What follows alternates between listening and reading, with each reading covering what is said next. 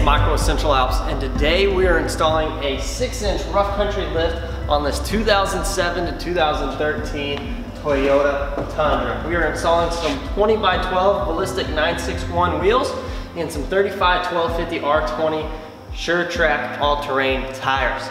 The biggest tip on this truck is if you go with the 6 inch lift, you will have to um, pull apart your strut and put in a strut spacer. And then on top of that, you'll put in an exterior strut spacer as well. If you don't have a spring compressor for your strut, you'll either need to buy one or find a shop that will compress your strut for you.